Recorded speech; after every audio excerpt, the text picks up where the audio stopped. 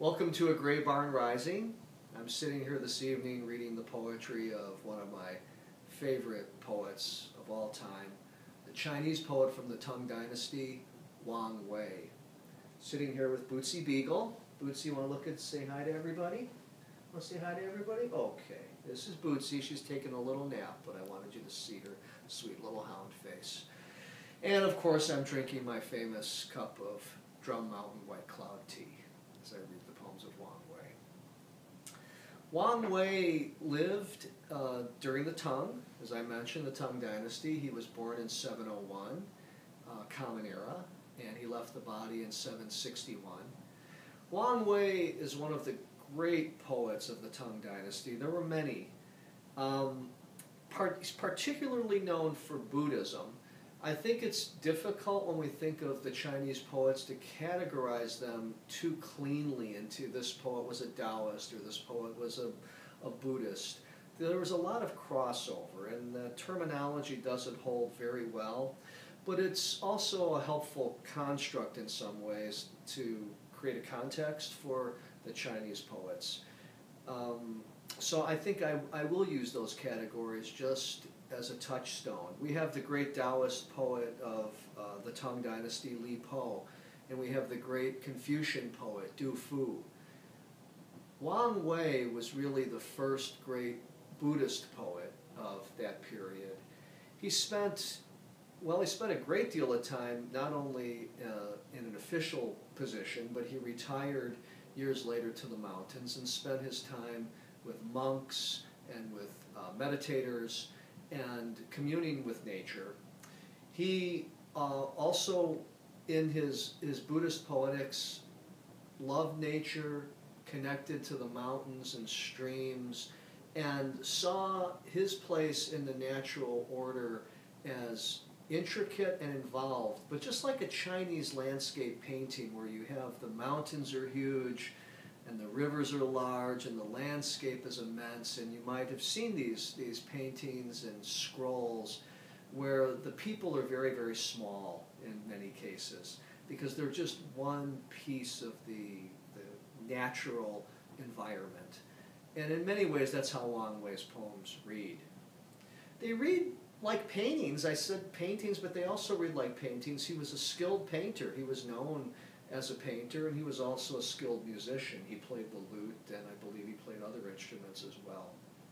What a fantastic poet. I'll be reading from a few different collections of Chinese poetry translated into English. The, uh, the gold standard of uh, poetry of the Chinese translations, as far as I'm concerned, is Sunflower Splendor 3,000 Years of Chinese Poetry translated, uh, co-edited by Wu Chi Liu and Irving Lo from Indiana University Press. I'll begin with my favorite poem of Wang Wei and one of my favorite poems of all time, entitled To Sub-Prefect Chang. In late years, I love only the stillness. The world's affairs no longer trouble my heart.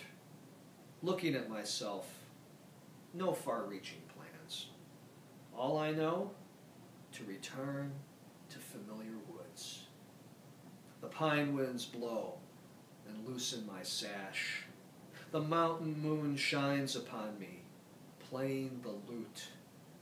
You ask for reasons for failure or success. Fisherman's song enters the riverbanks deep. Beautiful little poem by Wang Wei.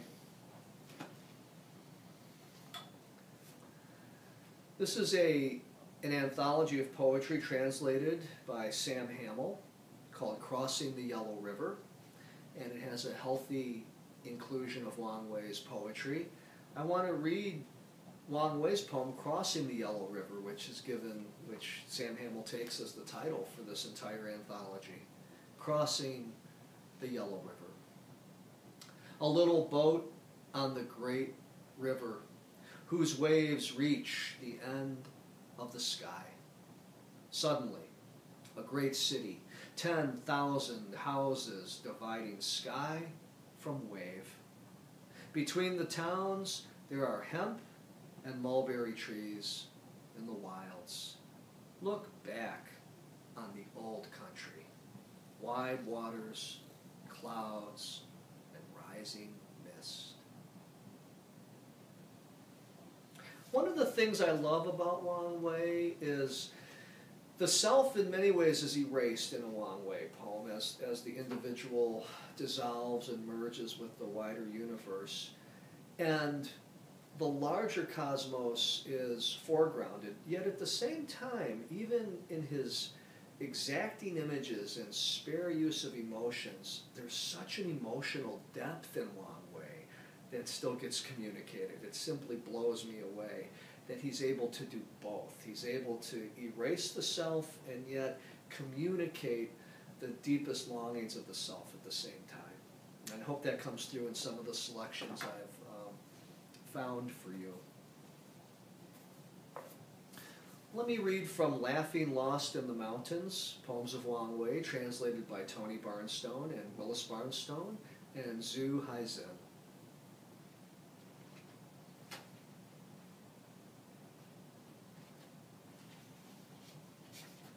I mentioned he spent a lot of time with monks and meditators.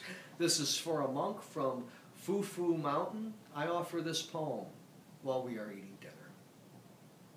With age, I learn the value of quiet and feel apart from crowds. Detachment has come to me.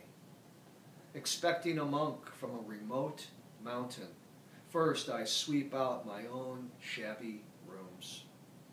From peaks wrapped in cloud, he descends to my overgrown grassy hut. On straw mats, we eat pine nuts, and while incense burns, we study the Tao. As day leaves, I light the oil lamp, and at nightfall play the singing stone bells. Tranquility has brought me happiness Life is slow and full of leisure. Why worry deeply about return when body and world are like empty void? It's interesting that I mentioned uh, too easy of a of a designation, say as Wang Wei, the Buddhist poet and whatnot. There he mentions the Tao, for example, and mentions uh, the Great Void, which is present both in Taoism and in Buddhism, but he mentions studying the, the Tao. Um, well, what the heck, while I'm on this page, let me read Visiting the Mountain Courtyard of the Distinguished Monk Danxing at Enlightenment Monastery. He leans into twilight on a bamboo cane, waiting for me at Tiger Creek. Hearing tigers roar, he urges me to leave, then trails a pouring brook back to his cell. Wildflowers bloom beautifully in clusters. A bird's single note quiets the ravine.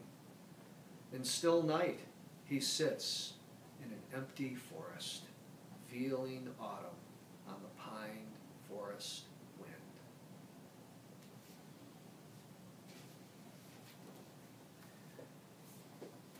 And I think the last book that I'll read from this evening from Wang Wei is this marvelous book, Hiding the Universe. And uh, this is translated uh, by Wai-lim Yip. And gorgeous, gorgeous poems and beautiful drawings in this book. You ever find this book somewhere, pick it up. You will, you will not be disappointed in the least. Villa at the foot of Mount Chungnan. Midway in life, attuned to Buddhism. Late years, a home I made at South Hill. Often on impulse, I walk out by myself. Magnificent scenes I alone know. walk to the source of the stream and sit down to watch clouds rise. Sometimes I meet an old man in the woods. We talk and laugh and know no return. Such a sweet closing, huh? We talk and laugh and know no return. Hmm. We'll often get those moments of deep insight, not only through a Wang Wei poem, but they come uh, near the ending as well. Sent to prefect Y G. Deserted city bleak all by itself. A million miles, mountains and rivers void. The sky high, autumn sun, distant. Piercing cries, flights of homeward geese. Cold pond mirrors, withering grass. Halls dwarf scattering sycamores in face of dusking years. And one shadow, a song of the sad old. Friends can no longer be seen. Loneliness is east of the level forest.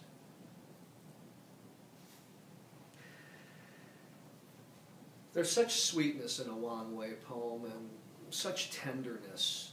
And I hope that this brief introduction encourages you to seek out the poems of Wang Wei and other uh, poems of the Chinese masters.